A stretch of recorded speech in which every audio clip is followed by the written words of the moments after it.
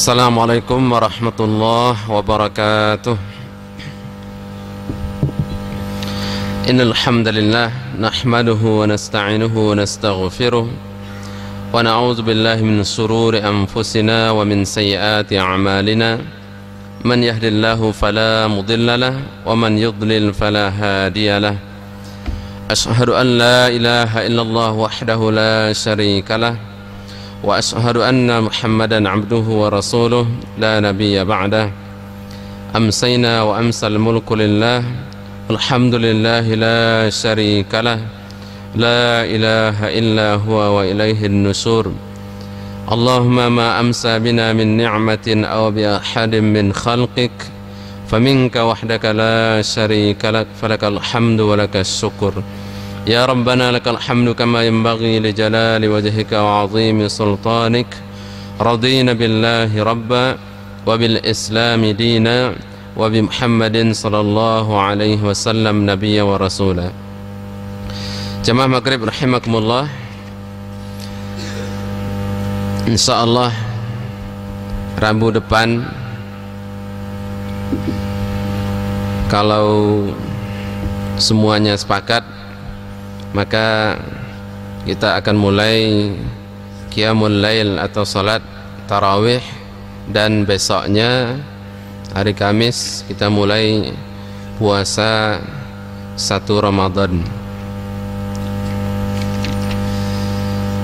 Ada baiknya sedikit kita ulang kembali hal-hal yang berhubungan dengan puasa ini yang pertama adalah adab-adab berpuasa. Yang pertama as-sahur, makan sahur. Makan sahur itu adalah barakah. Tasahharu fa inna fis sahuri barakah. Makan sahurlah kalian karena sahur itu adalah barakah, kebaikan yang banyak. Hadis riwayat Bukhari Muslim. Walaupun hanya dengan minum satu ya satu gelas air maka itu sudah cukup untuk sahur. As-sahuru barakah. Sahur itu adalah barakah fala tada'uhu maka jangan tinggalkan jangan berusaha untuk sahur. Walau anna walau an yajra'a ahadukum jur'ata ma'in. Walaupun hanya minum satu tegukan air. Fa inna allaha wa malaikatahu yusalluna 'alal mutasahhirin sesungguhnya Allah dan malaikat itu berdoa. Allah memberikan rahmatnya kepada orang yang makan sahur dan malaikat juga berdoa kepada Allah supaya Allah menurunkan rahmatnya kepada orang yang makan makan sahur. Ya. Jadi hanya dengan makan sahur maka itu adalah cara salah satu cara untuk mengundang rahmat Allah Subhanahu wa taala. Fa innallaha sesungguhnya Allah yusalluna memberikan rahmat. Wa malaikatahu dan malaikat juga berdoa untuk orang yang makan sahur. Khusus untuk orang yang makan sahur mendapatkan rahmat dan doa dari malaikat. Maka jangan ditinggalkan makan sahur ini. Hadis riwayat Imam Ahmad. Yang berikutnya adalah menyegerakan berbuka menyegerakan berbuka la yazalun nasu bi khairin ma ajjalul fitra. Manusia itu akan senantiasa dalam kebaikan selama mereka itu menyegerakan berbuka. Hadis riwayat Bukhari Muslim. Kemudian yang ketiga adalah berdoa. Jangan lupa berdoa ketika berbuka dan ketika berpuasa Inna lisaim inda fitrihi da'watan ma turaddu.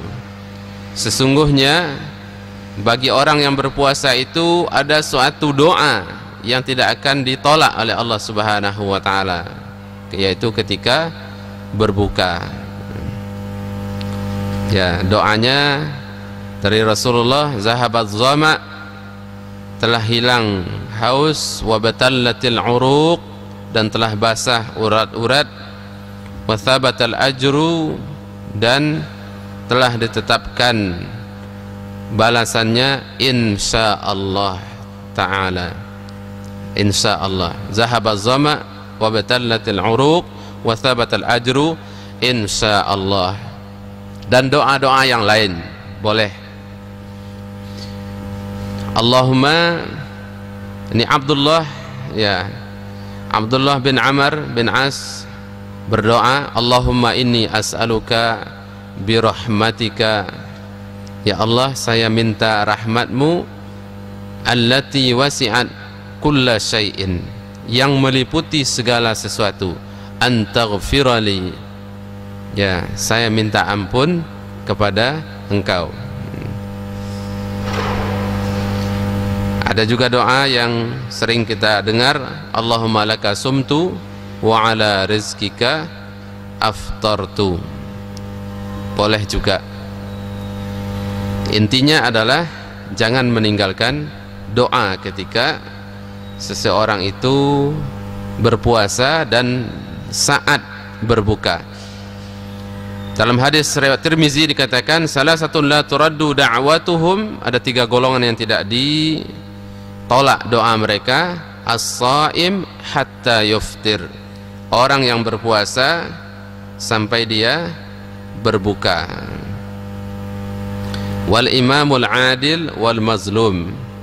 Dan imam yang adil dan orang yang dizalimi. Kemudian yang ketiga yang menjaga puasanya dari hal-hal keempat menjaga puasanya dari hal-hal yang tidak atau yang mengurangi yang akan mengurangi mengurangi nilai dari puasa.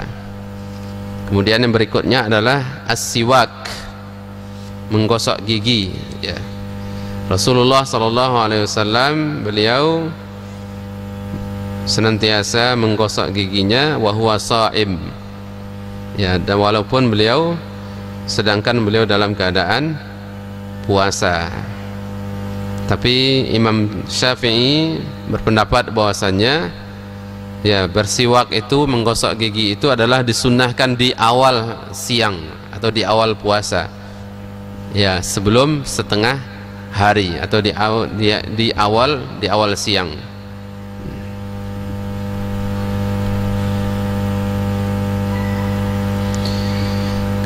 Kemudian berikutnya adalah al-jud banyak-banyak bersedekah wa mudarasatul Quran dan tadarus Al-Quran. Tadarus Al-Quran kalau bisa ya minimal kita tamatkan Al-Quran itu satu juz satu hari satu juz. Berarti selama Ramadan insya Allah tamat Al-Quran semuanya kalau Al-Quran itu dibaca selesai sholat empat halaman maka berarti satu hari 20 halaman. Subuh empat halaman zuhur empat halaman asar empat halaman maghrib tidak sempat berbuka. Isya berarti harus diganti jadi delapan halaman. Kalau ini rutin maka Insya Allah satu juz. Itu satu juz satu hari. Berarti 30 hari 30 juz. Kalau 8 halaman satu kali sholat setelah sholat subuh 8 halaman setelah sholat zuhur kan tidak ada makan siang. Ya tidak ada makan siang. Makan siangnya diganti dengan baca Quran 8 halaman. Asar ya 8 halaman. Maghrib tidak sempat. Isya 16 halaman. Berarti bisa khatam dua kali. Ini teorinya seperti itu. Prakteknya ya insyaallah kita diberikan kekuatan oleh Allah istiqomah. Jadi kalau empat halaman satu solat empat halaman selesai solat subuh empat halaman. Apalagi kalau salat subuhnya bisa setengah 20 10 halaman atau lebih maka bisa tamat Al-Quran lebih dari satu kali atau dua kali dalam Ramadan kemudian berikutnya adalah bersungguh-sungguh untuk beribadah di hari yang sepuluh terakhir nah, ini yang paling yang paling sulit yang paling sulit dan yang paling banyak ditinggalkan oleh orang ya.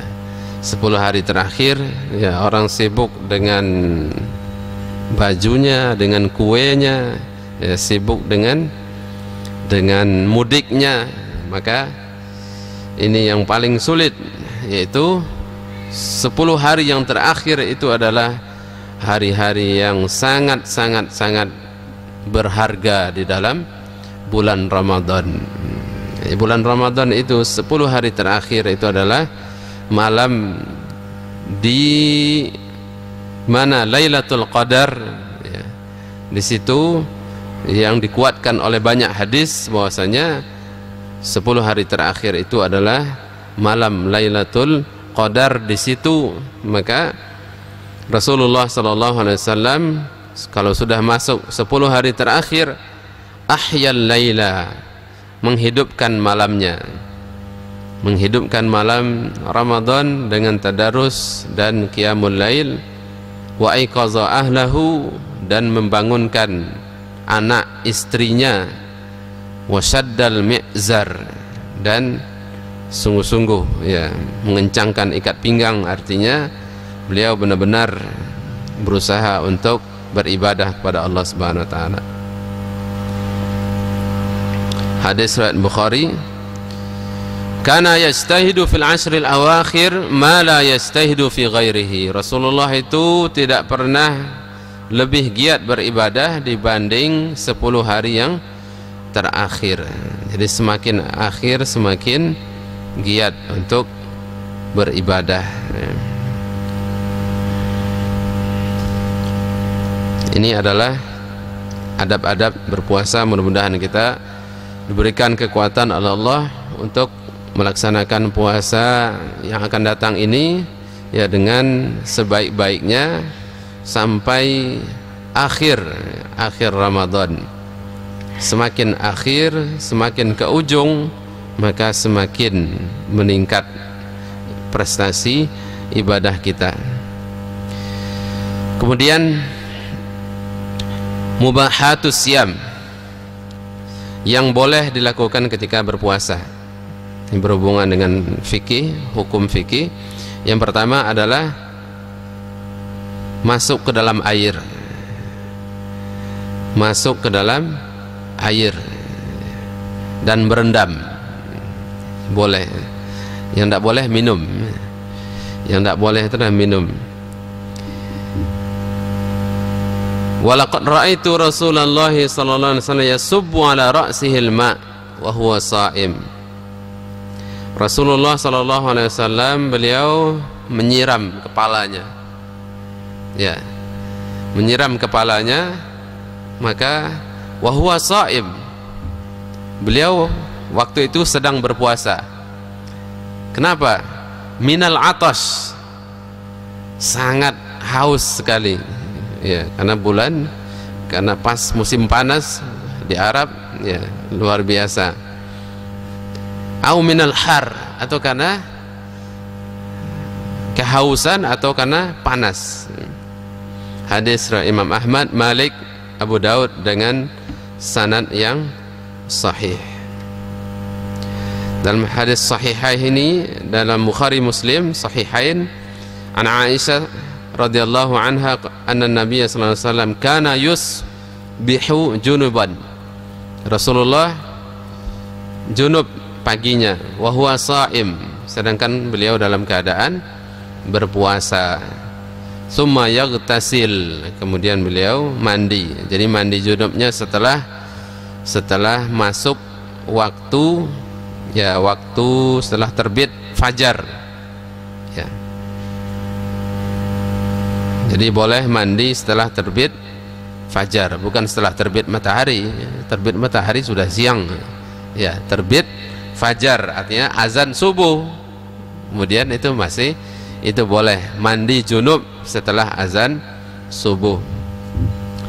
Fa in dakhala al-ma' fi jawfi as-sha'im min ghairi qasdin fa sawmuhu sahih.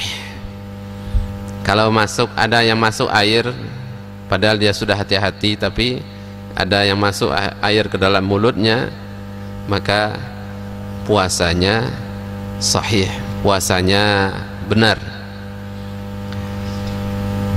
yang kedua yang diperbolehkan adalah memakai celak mata. Ya, memakai celak mata itu boleh bagi orang yang berpuasa. Fa'an Anas annahu kana yaktahil wa huwa sha'im. Ya. Dari Anas beliau itu memakai celak matanya wa huwa sha'im dan beliau dalam keadaan berpuasa. Ini juga pendapat dari Imam Syafi'i dan imam-imam yang lainnya. Yang ketiga adalah mencium istrinya bagi orang yang mampu menguasai dirinya. Bagi orang yang tidak maka lebih baik di dihindarkan dari Aisyah radhiyallahu anha qalat kana Nabi sallallahu alaihi wasallam yuqabbil Rasulullah mencium. Mencium siapa? Mencium Aisyah maksudnya. Aisyah sendiri yang yang meriwayatkan hadis ini. Tapi Aisyah tidak mengatakan siapa yang dicium. Yuqabbilu wa huwa saim. Nabi mencium Aisyah beliau dalam keadaan berpuasa ya. Tapi Rasulullah orang yang paling bisa menahan hawa nafsunya.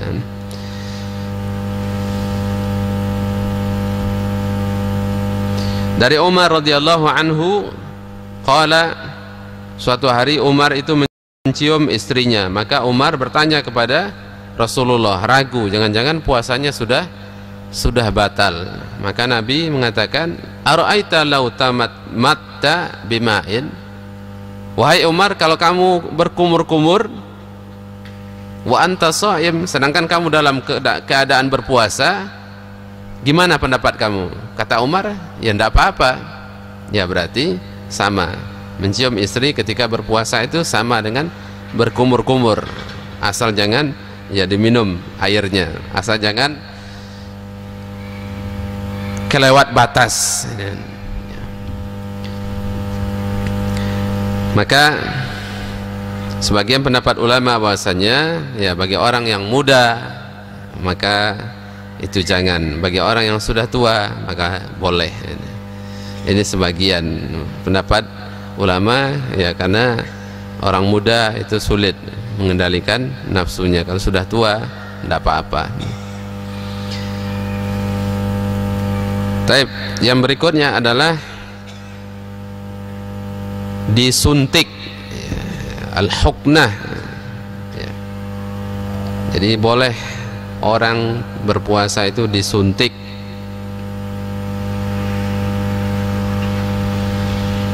baik itu ya Said Sabik di sini mengatakan baik itu litaghziyah ya.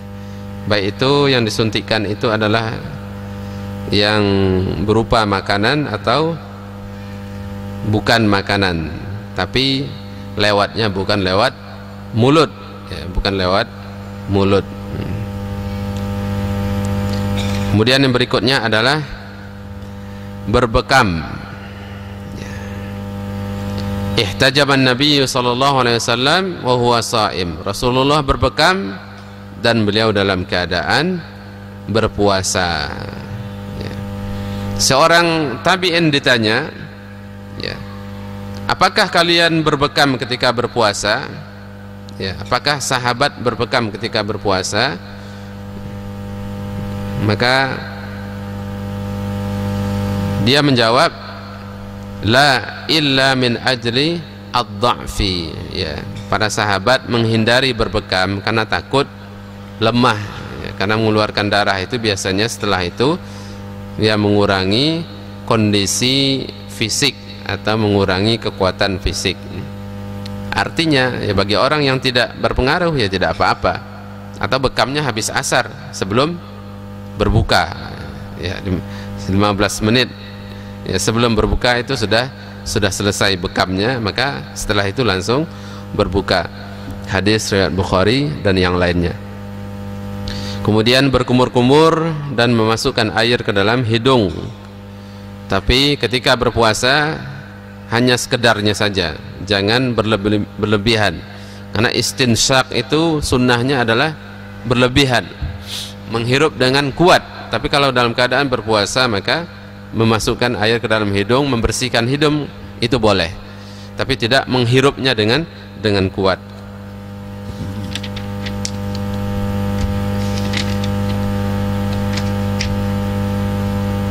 Ini adalah hal-hal yang diperbolehkan ketika seseorang berpuasa. Silahkan kalau ada pertanyaan.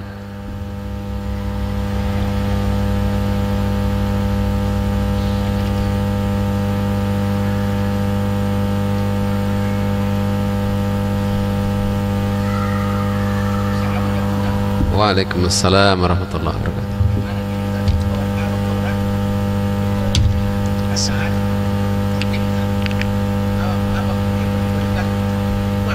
hamil. Hamil. Hamil tua. Berpuasa itu lebih ya menurut penelitian dokter berpuasa itu memberikan sugesti kepada anak yang di dalam janin. Ya berpuasa itu justru memberikan ya meningkatkan tingkat kecerdasan janin. Salah satunya adalah dengan berpuasa maka ya ini kembali kepada kondisi ibunya. Jadi sebenarnya kalau dia bisa meyakinkan dirinya dengan berpuasa itu justru dia akan membawa kesehatan maka itu tidak akan ya menyebabkan ya orang yang hamil itu merasa berat untuk berpuasa ya. Tapi sekali lagi tergantung kepada kondisi ya kalau suaminya bisa memberikan motivasi bisa memberikan penjelasan yang baik maka ya insya Allah itu tidak tidak akan membahayakan kepada kepada kandungan. Jadi berpuasa itu tidak membahayakan sama sekali kepada kesehatan janin. Ya. karena puasa itu hanya cuma 12 jam. Puasa itu hanya 12 jam bukan berhari-hari bukan tidak makan seminggu atau berapa. Jadi eh, maka orang yang yang ber, yang hamil ibu-ibu yang hamil itu sebisa mungkin berusaha untuk berpuasa. Berpuasa karena itu juga akan memberikan latihan kepada anak yang sedang dia kandung. Jadi tidak ada masalah tidak ada masalah melahirkan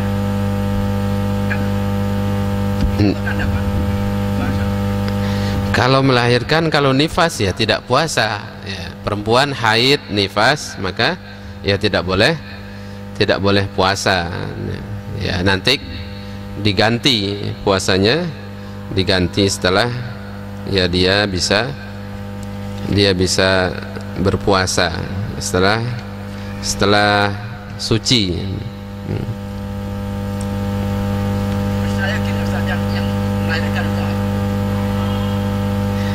Yang melahirkan terus di bulan puasa. Ya tidak puasa. Nanti setelah dia suci setelah selesai nifasnya maka dia dia mengganti puasanya.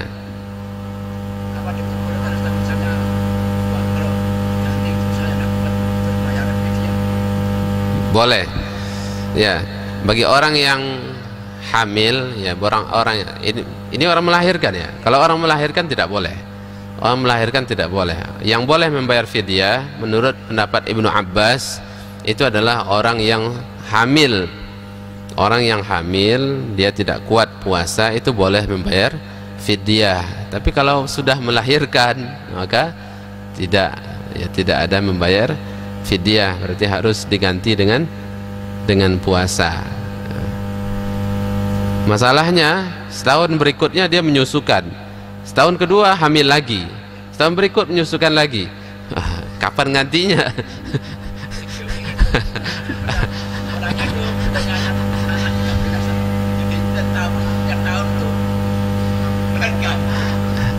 Ya makanya yang seperti itu malah menurut mazhab Imam Malik itu orang seperti itu harus bayar fidyah dan bayar kodok bayar fidyah dan bayar kodok juga. Jadi kena dua.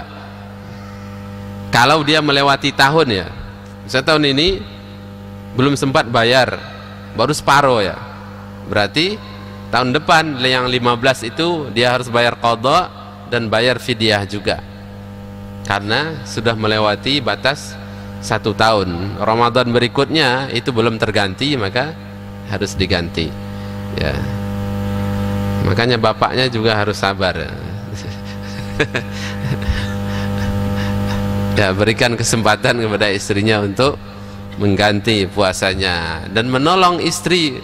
Ya supaya istri kalau mengkodok puasanya suaminya juga ikut puasa. Supaya ya sama-sama ada perasaan ya jangan suaminya makan istrinya berpuasa kan. Istrinya masak untuk suaminya dia puasa suaminya makan ya, pagi makan siang makan ya istrinya capek kerja semuanya dikerjakan masak menyuci puasa lagi. Ya, maka ya kita berusaha juga. Misalnya gantinya hari Senin suaminya puasa Senin Kamis ya istrinya mengganti puasa yang belum yang belum diganti atau dikodok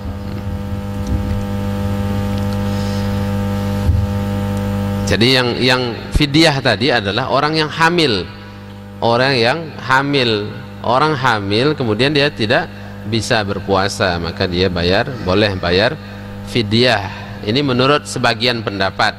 Ke pendapat yang lain tidak boleh bayar fidyah. Tapi itu pendapat yang paling ringan. Ya. Kalau ada yang ringan ya enak diambil yang ringan. Daripada yang berat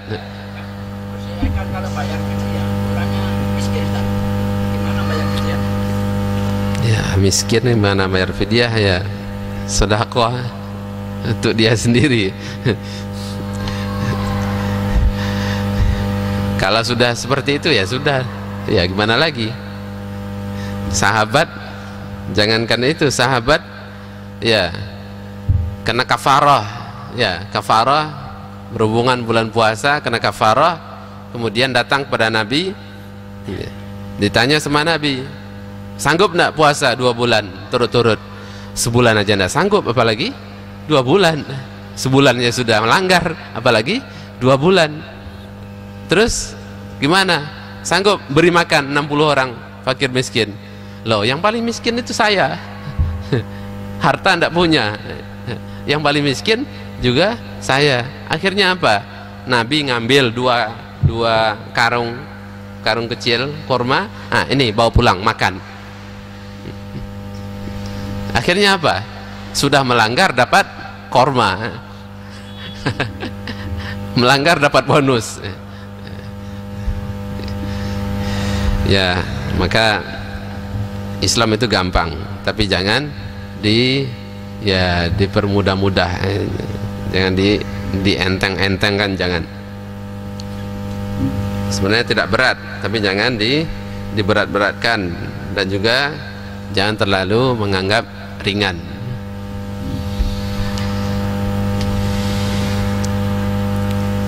ada lagi Pak Kohar silakan Bismillah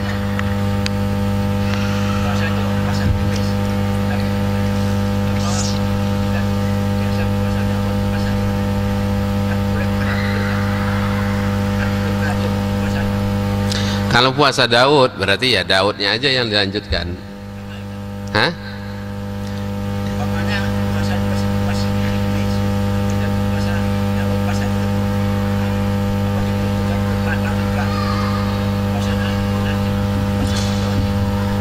Ya bukan puasa Daud namanya.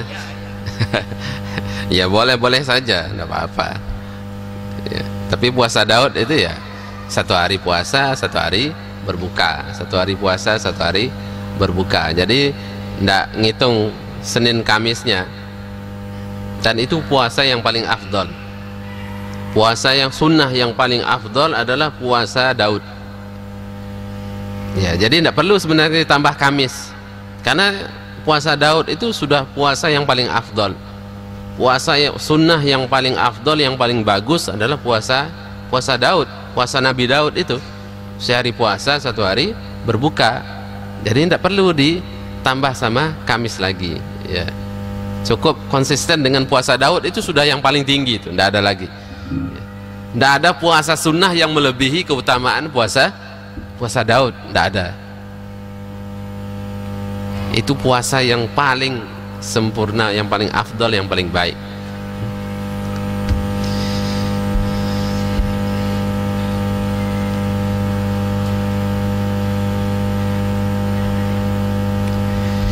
Tapi mudah-mudahan sekali lagi ya Ramadan yang akan datang ini betul-betul Ramadan yang kita bisa maksimal beribadah kepada Allah Subhanahu wa taala Semoga kita diberikan kesehatan, kesempatan dan kekuatan semuanya sehingga kita bisa beribadah dengan baik, dengan maksimal, dengan sesuai apa yang telah diajarkan oleh baginda Rasulullah sallallahu alaihi wasallam. اللهم انفعنا بما علمتنا وعلمنا ما ينفعنا اللهم إنا نسألك علما نافعا ورزقا طيبا وعملا متقبلا سبحانك اللهم وبحمدك أشهد أن لا إله إلا أنت أستغفرك وأتوب إليه السلام عليكم ورحمة الله وبركاته